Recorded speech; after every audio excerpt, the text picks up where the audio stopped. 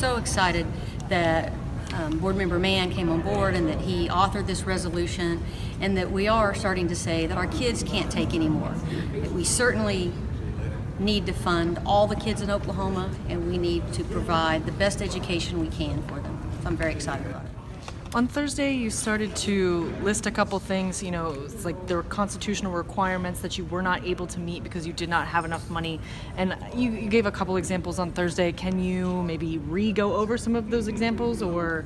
Um, Well, there are unfunded mandates. I think that may be what you're referring to, such as Reading Sufficiency Act that's un- underfunded, uh, the Teacher Quality TLE, which is how we how we evaluate teachers. That's required by the state. That's underfunded. Um, so all of those things we have to pull funding from that would normally go into the classroom. Uh, that would we now divert to these mandates that the legislature has placed on us.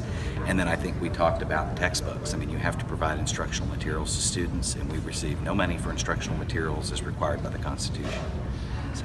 When you think about lawsuit, you think about paying an attorney to do this.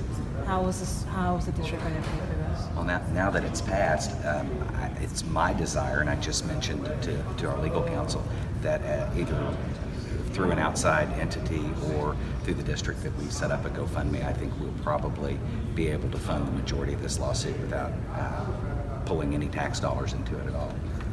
Mark, any idea how much it might it might cost to, to for legal? No, because I think we've got to start talking to lawsuits and uh, talking to law firms and determine, you know, where they want to file it. Do they want to start in district court? Is that the best place? Is it better to petition the Supreme Court? Uh, obviously, the the lawsuit involving the budget being complete by April 1st, that's not even a consideration until April of 2018. And then some of the other pieces, I think you really have to determine the depth of the filing and the depositions and all that. So. I know you said you talked to some other districts or some representatives from other districts. How much interest is there? Well, I'll say this, and I don't want to throw anybody under the bus because they were just private conversations from people I knew. Uh, I think there's a lot of interest, and I think now that we've actually taken the step to pass this tonight, I think uh, you're going to see people coming out of the woodwork in the next month to uh, to join this and talk about joining. Would like-